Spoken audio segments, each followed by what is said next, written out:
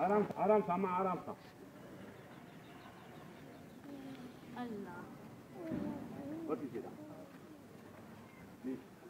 अम्मा, परेशान थी, अम्मा तुम तो माँ है। कौन करनी मुझे? माँ कौन करनी